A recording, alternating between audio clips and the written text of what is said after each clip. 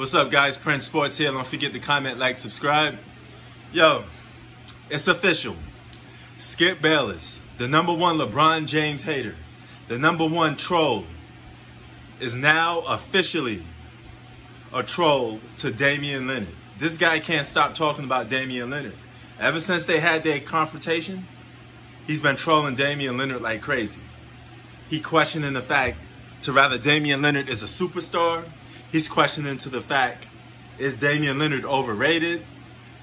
Man, he's calling Damian Lillard everything in the book. Now he officially says, I want to see what Dame time is really all about. This is a, a great opportunity for him to prove he really is a superstar and he really is clutch. And Skip did mention a lot of um, Damian Lillard's downfalls. Um, he has hit clutch shots in the playoffs, but he's also came up short a couple of times in the playoffs too. So it, it goes hand in hand. But here's the problem that Damian Lillard made. He contact he made contact with Skip Bayless, right? I think Skip Bayless um, sought him out. But the minute you gave you give a troll attention, the minute you give them your undivided attention when you're supposed to be annoying them, the same way LeBron does to Skip, now you open up the floodgates, Dame, because Skip Bayless never gonna stop talking about you because you just he felt like you disrespect him to a point that now you're number one on his shit list.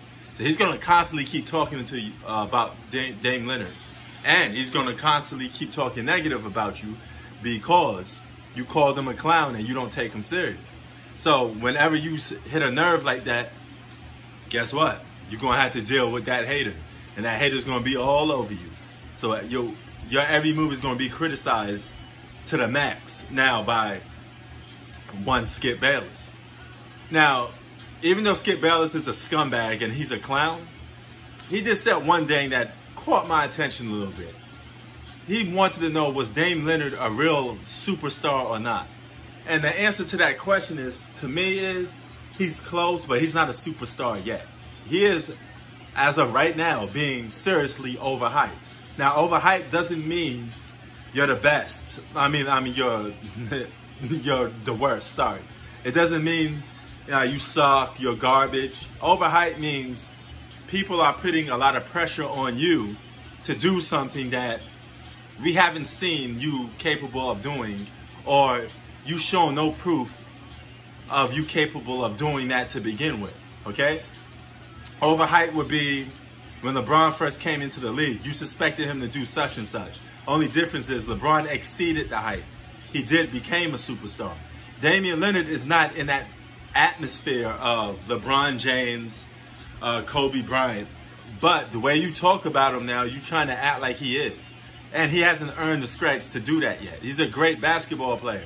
I never, I would never say he sucked or anything like that. Think he's a great player. But he is overhyped if you do know the term overhyped. It's a definition of it. Okay? Now, to suspect, to even overhype Damian Lillard to the point where you're saying that he's going to over overcome LeBron James and he's going to do this and that to a superstar when he hasn't done it yet. The last time he went up against a superstar, he came up short, and that was against Steph Curry. And Steph Curry ether Damian Lillard. He beat you. As simple as that. Damian Lillard was coming up short in the fourth quarter. Mr. So-called clutch. Okay? So to all you people thinking um, clutch is this and that, it's the be all, say all to everything, it's not. Okay? Not every game is going to come down to a final shot. Not every game is going to come down to a final moment where you have to be clutch. Okay? Some games, if the team is just flat out better, they're going to beat you by 10 points or more. Playoffs or not. Okay? And you see the Lakers when they ready to play basketball, much like the Boston Celtics in 2010,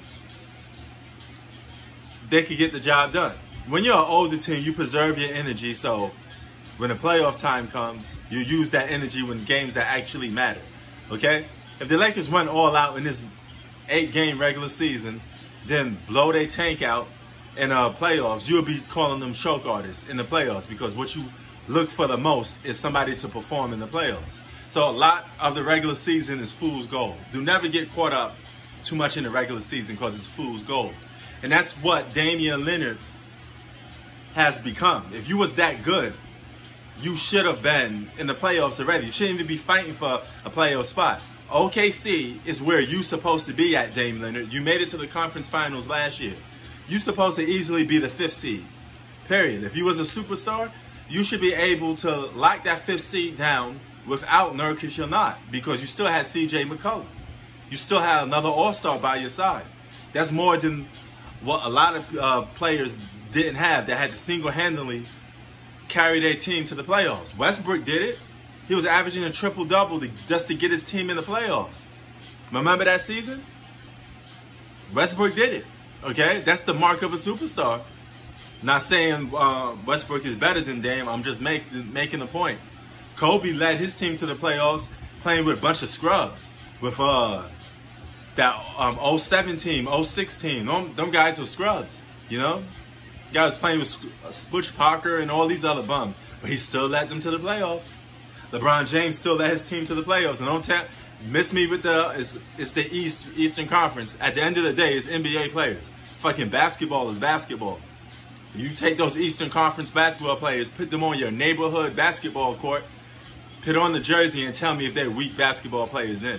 So don't do talking about something that you can't back up, okay?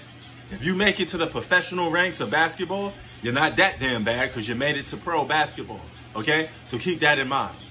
But Skip Bayless, you officially a scumbag and a troll for fucking with Damian Lillard.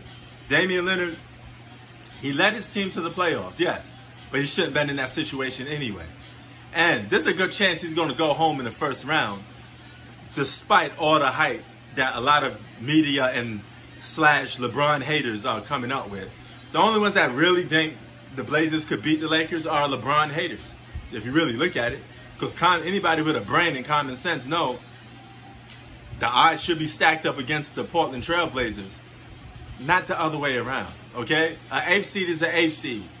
Your record is your record. You are what your record says you are. Not, oh, this team should have been this. Man, miss me with all of that.